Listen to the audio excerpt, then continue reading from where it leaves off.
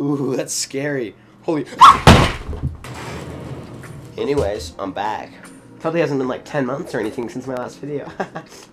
but that's not from lack of effort, okay? What I've been doing in these last 10 months is, is pretty big, actually. The reason I quit was the computer that I was editing on wasn't working. And not only that, but when I was saving up money for this computer here so I could get, get something to edit on, um, guess what else came up? My Taekwondo belt testing came up. So, swoop, $350 right the... So, uh, yeah, then I had to save up more money for this. But the good news is, I did it. Yeah, a lot of people know that I do Taekwondo, but a lot of people don't know, like, the work and stuff that goes into it. So I made this video.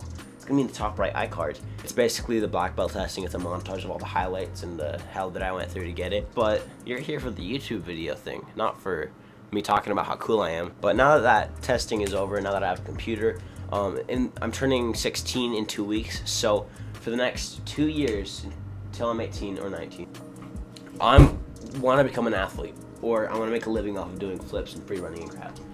So for that, in these next two years or slash three years, I'm going to be working my butt. I'm going to be doing lots of YouTube. I'm going to be doing lots of flips. I'm going to be doing all the things. Try and do my best to get out there as much as I can so that when I do want to make the transition to from just practicing flips, I can make it into a living from like either sponsors or teaching the flips or opening my own gym. It's kind of ridiculous because right as that testing was over, I'm like, oh sweet, now I can do all the flips I want. Second that I was going outside, I'm like, all right, I'm gonna train today. It snowed. I still did some flips.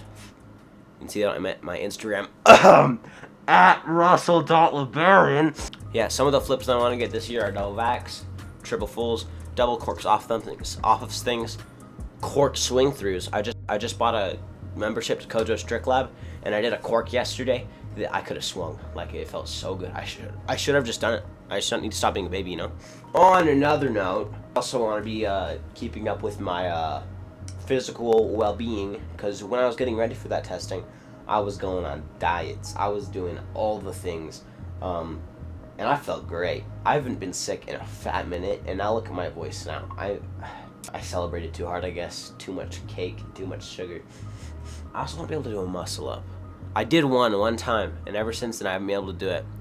Kind of salty about that. Back on track, Russel. Come on, don't don't lose your focus. Who knows? Maybe this video will be just some stupid video I made when I was 15 years old about ah, I want to become an athlete. I have big dreams, and then I end up doing drywall for the next 15 years. Who knows? Or maybe it can be the thing where, like, yeah, that was the point where I turned, and I was like, yeah, probably not, but you know, you never know until you go for it, and uh, I'm gonna shoot for it. I'm gonna shoot for the moon, and if I don't go hit it, I'll land among the stars. Holy shit, I sound cheesy. Okay, see ya.